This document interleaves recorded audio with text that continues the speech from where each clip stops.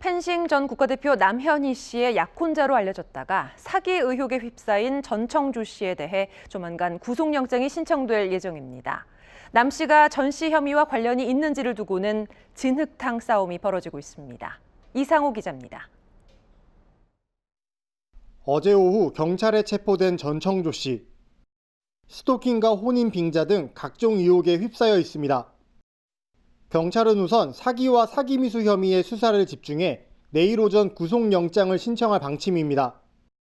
애플리케이션 개발 투자 명목으로 피해자 한 명에게 2천만 원을 뜯어내고 다른 피해자에게는 대출을 유도한 혐의입니다.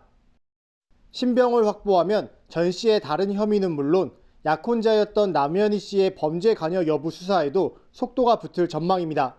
내 핸드폰을 보냐. 앞서 남 씨는 김민석 서울 강서구 의원이 공범 의혹을 제기하자 이를 부인하며 김 의원을 명예훼손 혐의 등으로 고소한 상황. 예. 사기꾼 아닌가? 근데 이제 지내는 과정에서 음, 저희가 의심되는 거를 물어보면 그거를 다 대답을 그러니까 저희가 이해되게 대답을 하는 그런 재주를 갖고 있었고 그러자 김 의원은 남 씨를 무고죄로 고소하며 맞대응했습니다. 전 씨와의 통화에서 남 씨도 사기 행각을 알고 있었다는 내용을 들었다며 범죄 수익으로 얻은 이득을 환원해야 한다고 주장했습니다. 남현희 씨도 이제 자기가 이렇게 그 투, 투자 사기를 치는 거에 대해서 알고는 있었다라고 진술을 하고 있습니다. 경찰은 사기 혐의 관련돼 제기된 의혹 진정은 시간을 두고 모두 확인한다는 입장입니다. OBS 뉴스 이상호입니다.